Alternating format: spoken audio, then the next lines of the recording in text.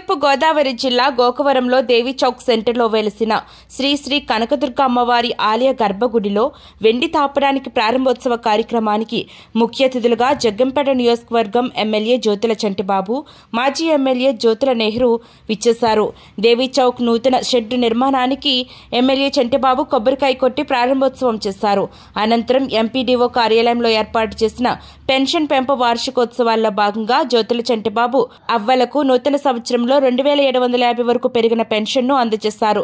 నూట ఎనిమిది సిబ్బంది పలు సమస్యలతో కూడిన వినతి పత్రాన్ని ఎమ్మెల్యే జ్యోతుల చంటిబాబుకు అందజేశారు.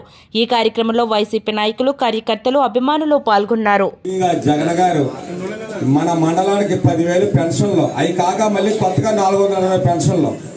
ఎలా ఏ ముఖ్యమంత్రి కూడా చేయని పని మన ముఖ్యమంత్రి జగన్మోహన్ రెడ్డి గారు చేస్తున్నారు? ఈ డబ్బులు ఉపయోగపడతాయి కాబట్టి వారి యొక్క జీవన ప్రమాణాలు పెరిగే విధంగా ఏదో సుమారుగా రెండు వేల ఏడు వందల యాభై రూపాయలంటే ఈవేళ మనకి ఒక నెల నెల సరిపడా నెలలో ఏదో ఒక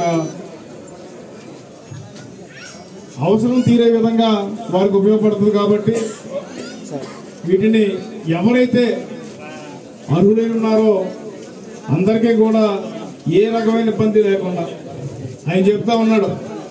మొన్న మీ గోకవరం మీటింగ్లోనే అడిగాను నేను. జగన్మోహన్ రెడ్డి గారు మేము ఇష్టం ఎవరు ఎవరికో మరి మరి వాలంటీర్ చూడండి